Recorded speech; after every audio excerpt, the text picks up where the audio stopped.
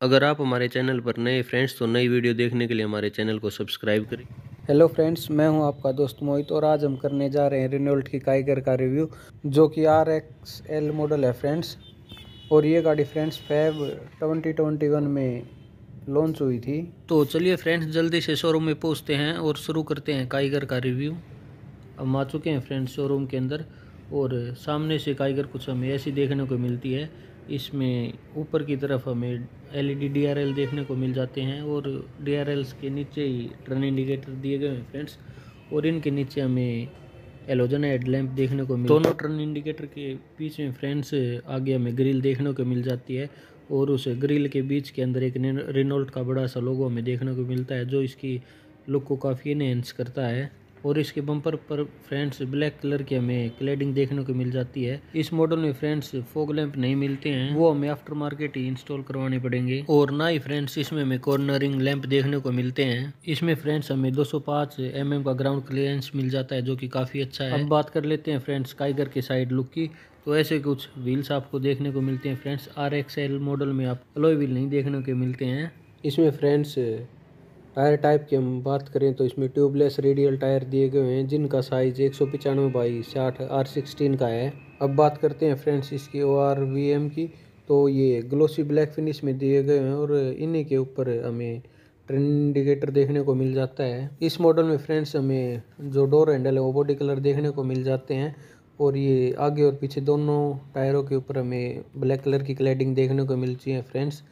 और पीछे से काइगर का आर एक्स एल मॉडल का लुक देखें तो फ्रेंड्स ऐसा कुछ हमें बैक से लुक देखने को मिलता है जिसमें एक साइड रेनोल्ट की बैजिंग दी गई हुई और रेचे की तरफ़ इसमें रिफ्लेक्टर दिए गए और बीच के अंदर हमें बड़ा सा रेनोल्ट का लोगो मिल जाता है और उसके नीचे काइगर लिखा हुआ है। इस मॉडल में फ्रेंड्स आपको सार्किन एंटीना दिया गया इस मॉडल में फ्रेंड्स हमें रियर डिफोगर देखने को नहीं मिलते हैं और इस मॉडल में फ्रेंड्स हमें रूफ रेल्स भी देखने को मिल जाती हैं।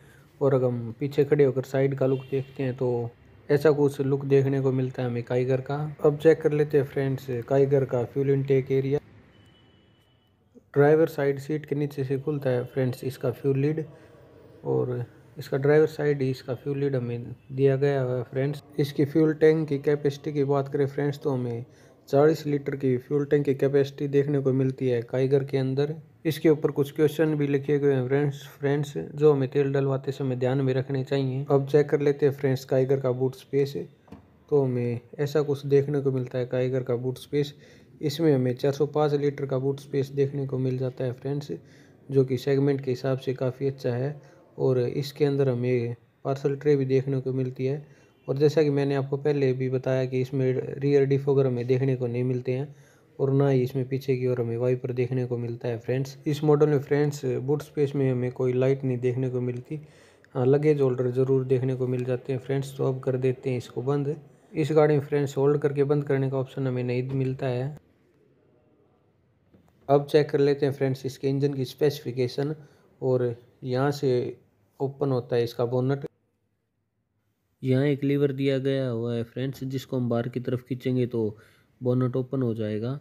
तो चलिए फ्रेंड्स करते हैं इसके बोनट को ओपन और दिखाते हैं आपको इसका इंजन इस मॉडल में जो इंजन दिया जाता है फ्रेंड्स वो नौ सौ निन्यानवे सी का इंजन है और ये मैक्सिमम इकहत्तर बी एच पी की पावर जनरेट करता है और छियानवे एन एम का मैक्सिमम टॉर्क और ये थ्री सिलेंडर इंजन है फ्रेंड्स कंपनी जो माइलेज क्लेम करती है फ्रेंड्स वो नाइनटीन पॉइंट वन सेवन है और ये A R A I certified mileage है।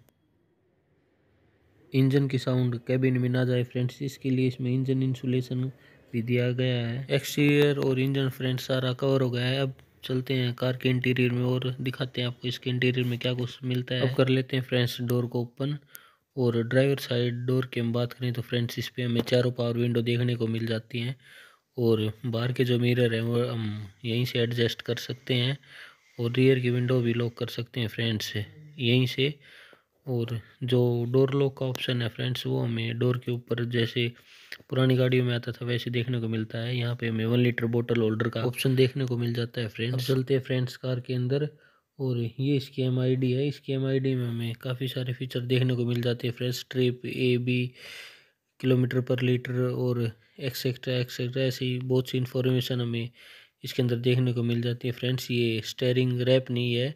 और ये टू दिन का सिस्टम इसमें हमें देखने को मिल जाता है, जो हम बंद रहता है, तब इसमें टाइम शो करता है फ्रेंड्स और उसके नीचे की साइड हम मैनुअल एसी को कंट्रोल कर सकते हैं, उसके बटन दिए गए हैं फ्रेंड्स और इस गाड़ी में फाइव स्पीड का मैनुअल गियर बॉक्स आता है। अगर हम इसके आई आर वी एम की बात करें फ्रेंड्स तो ये ऑटो डिम हमें नहीं देखने को मिलता है और अब देख लेते हैं फ्रेंड्स इसमें आगे की तरफ़ क्या फीचर दिए जाते हैं। इसमें आगे की तरफ़ सिर्फ़ एक लाइट दी जाती है। और ड्राइवर साइड सनवाइज़र की तरफ़ इसमें एक माइक दिया गया हुआ है फ्रेंड्स और अब कर लेते हैं इसके सनवाइज़र पर वैनिटी मिरर को चेक तो ड्राइवर साइड तो वैनिटी मिरर हमें नहीं देखने को मिलता. अब देखते हैं फ्रेंड्स को ड्राइवर साइड तो को ड्राइवर साइड भी हमें सिर्फ़ टिकट होल्डर का ऑप्शन मिलता है.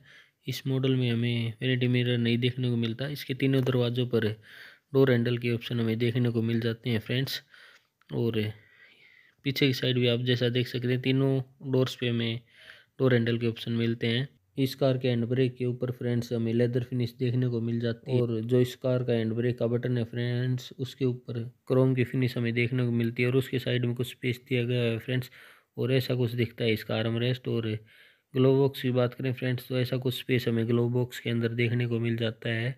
और अब कर लेते हैं फ्रेंड्स, इस कार के स्पेस को चेक कि मेरी हाइट फाइव एट है तो फाइव एट के हिसाब से, ड्राइंग पोस्टर के हिसाब से अगली सीट एडजस्ट है। तो मुझे इतना कुछ स्पेस मिल रहा है और अब दिखाते हैं फ्रेंड्स पीछे की सीट का स्पेस आपको। तो चलिए फ्रेंड्स चलते हैं पीछे की सीटों के ऊपर और कर लेते हैं डोर को ओपन तो फ्रेंड्स अब बैठते हैं इसके अंदर और अंदर बैठकर दिखाते हैं आपको इसका स्पेस तो हमें इतना कुछ स्पेस इसके अंदर मिलता है जब फाइव एट का बंदा आगे बैठता है। ड्राइविंग पोस्टर के हिसाब से एडजस्ट अगली सीट मेरी और ऐसा कुछ रियर का डोर हमें देखने को मिल जाता है। पिछले डोर्स में फ्रेंड्स हमें वन लीटर बोटल होल्डर का ऑप्शन नहीं देखने को मिलता है। और पीछे की तरफ़ भी हमें इसमें एसी वेंट और नीचे की तरफ़ एक चार्जर पोर्ट का ऑप्शन मिल जाता है। और पीछे की तरफ़ बैठ कर देखते हैं तो सेंटर कंसोल को तो आगे की लुक कुछ ऐसी देखती है फ्रेंड्स जो कि काफ़ी अच्छी लगती है। तो ये था फ्रेंड्स हमारा आज का वीडियो अगर आप सबको वीडियो पसंद आई हो तो वीडियो को लाइक करना और चैनल को सब्सक्राइब करना।